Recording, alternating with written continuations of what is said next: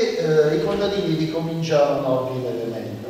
E in quel periodo, quando c'era la transumanza, si mangiava la cotturetta, si mangiava cotturetta e si mangiava cotturetta proprio perché le pecore non andavano buttate via, la carne di lupi eh, veniva vessata per ottenere proprio quello che serviva, cioè un cibo accettabile.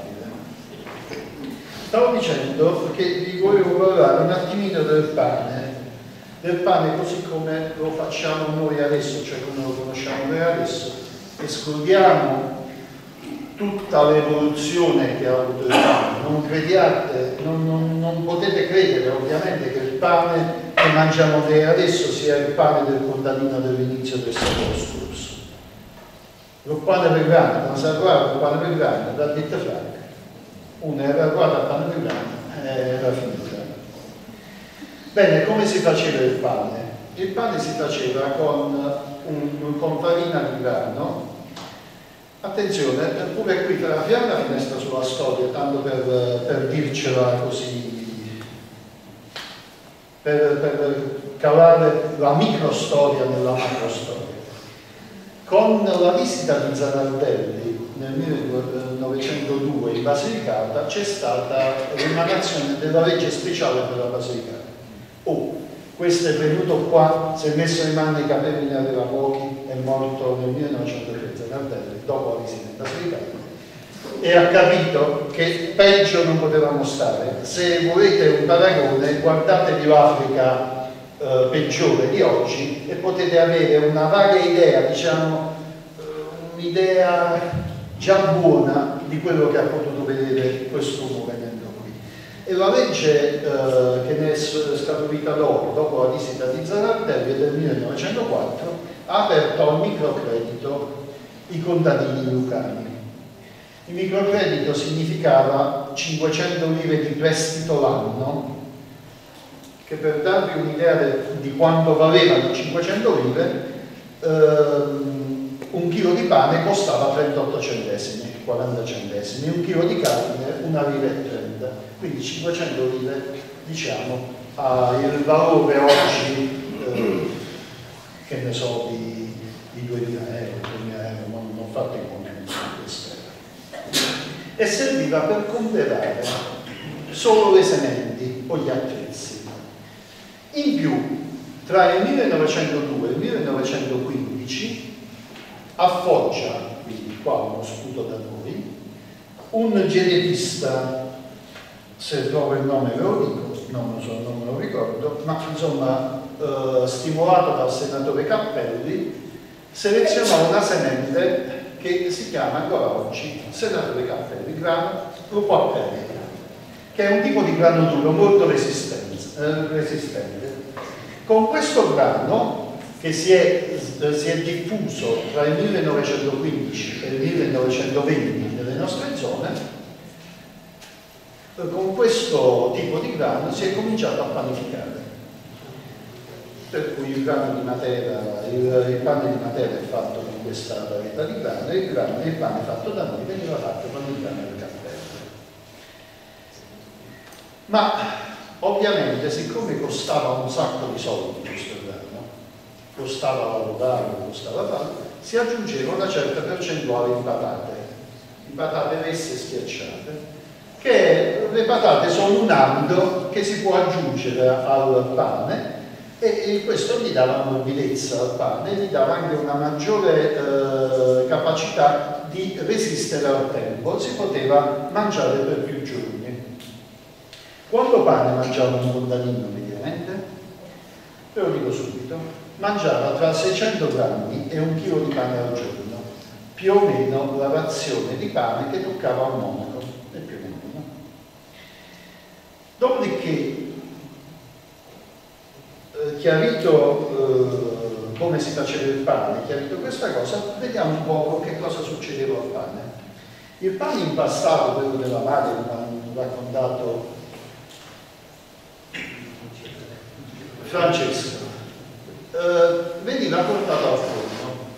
I forni, quelli che ha visto Francesco, che sono degli anni 50, erano delle riproposizioni dei forni. Guardate che il feudatario possedeva tutto. costruire il forno e per andare a cuocere il pane nel forno si pagava, si pagava la tassa. C'è, una, c'è documentato una diatriba tra il vescovo, il vescovo di Acerenza, no, il vescovo di Venosa e il, uh, e il principe Doria per un forno a San Fede perché possedere il forno significava controllare quello che facevano i contadini. E eh, anche in questo caso il pane aveva una certa sacralità. Il forno si benediceva, sul forno si trovava incisa la croce o le iniziali SC, che non erano il costruttore, non erano il nome del costruttore del forno, era iniziale, le iniziali di Signum eh, Cruce, mi pare che si dica così, insomma. Poi eh, intorno al forno c'erano delle leggende, non so, a Salo fu una pietra che muovia come io rimaneva aperto. Se non si faceva la croce sopra il pane con ferro, perché il pane rappresentava il corpo di Cristo, era sacro e si offendeva il pane con il ferro. Oggi se vedete si, si incide con la lametta con il coltello, guai a farlo con il coltello, si faceva con, con il cucchiaio di legno. Il pane non si buttava, il pane era disca, che prendeva se rasare e se mangiare. Se, se cadeva un pezzo di carne, magari si era mangiato il carne, ma il pane no. Il pane si recuperava tutto, si faceva acqua si faceva il pane corto, eh, si faceva tutto, ma non si buttava.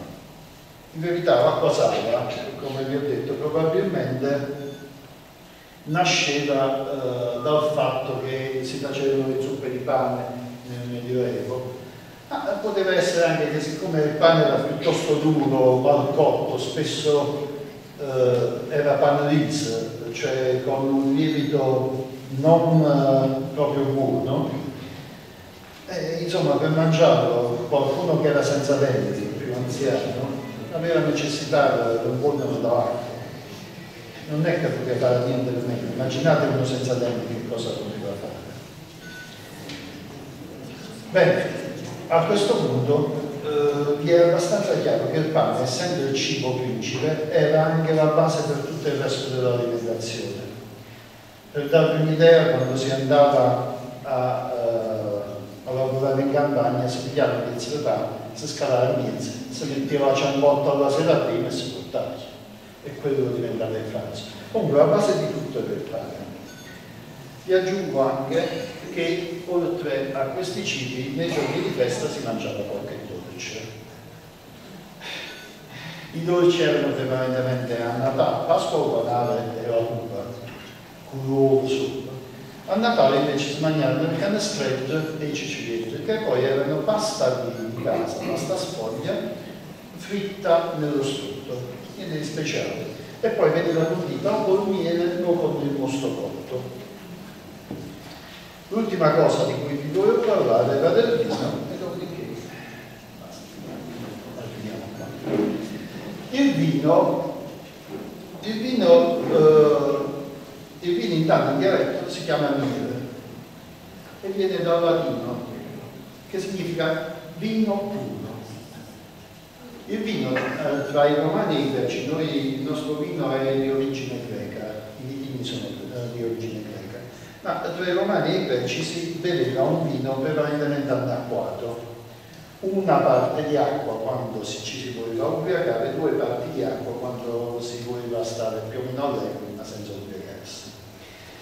Da noi il vino si faceva così, si scazzava l'uva andava guaiato per cui dopodiché eh, si lasciava fermentare e poi si faceva lo strugnitura, che era il vino che si beveva il vino più scadente, e dopo lo strugnitura si faceva lo plus, che era acqua eh, aggiunta alle vinacce, alla, a, agli acidi schiacciati alla vinaccia, che rimaneva a beveva prima lo plus, poi lo strugnitura e poi lo e naturalmente eh, c'erano diverse storie su, cui, eh, che, insomma, su come si racconta sia nato il vino. Ve ne dico due brevemente e so. La prima è di eh, origine greca, c'è una commedia greca che racconta di come Bacco dice come si beve il vino. Lui ne elenca 10, io vi dico solo tre, eh, tre calici di vino. Il primo calice si beveva per la salute, il secondo calice per attivare la pulsione amorosa, il terzo calice per il sonno. Invece per i cristiani, nella mitologia e nelle cose che si raccontavano, il vino era nato da Noè, che era via che andata su sta pianta e l'aveva innaffiata con sangue di leone, sangue di asino e sangue di maiale. Per cui chi se ne beveva un cucchiaio si sentiva come lui, chi se ne beveva un litro si sentiva come ciucci e chi ne beveva chiossare era come quello.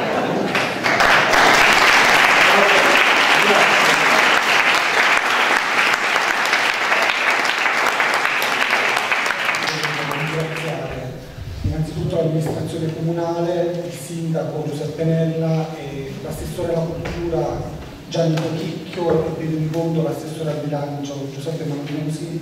Volevo ringraziare per essere eh, presente la preside dell'Istituto Comprensivo di Viviano, Tania Criola. Ringrazio i relatori Franco Savia e Vito Antonio Romagnolo per i bellissimi interventi. Ringrazio le associazioni che hanno collaborato con noi Ringrazio infine Giusy Macchia e Angela Colucci, se potete vedere qui. Voglio ringraziare Carmine Saverio Palladino per uh, il bellissimo vestimento della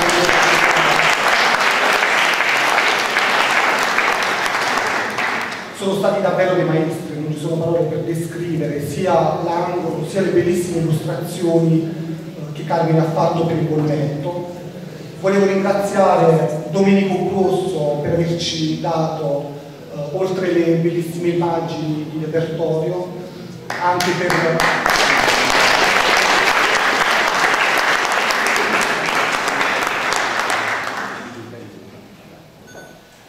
Eh, anche per il bellissimo video che abbiamo visto in apertura.